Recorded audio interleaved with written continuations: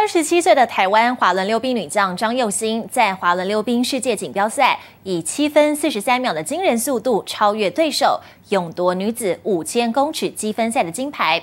而这面金牌的背后藏有洋葱。张佑欣表示，他的阿妈七月下旬过世，当时两人就约定一定要拼一面金牌。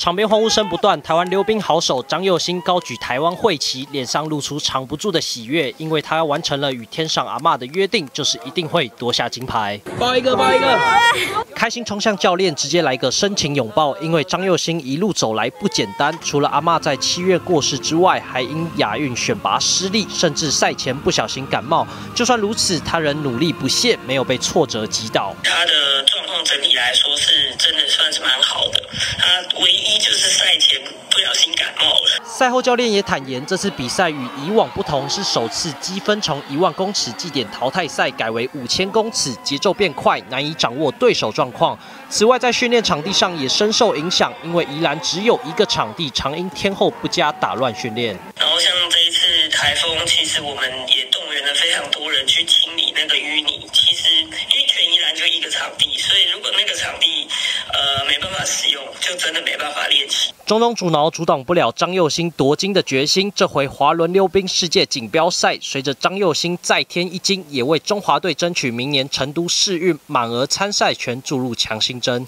记者张海婷宜兰报道。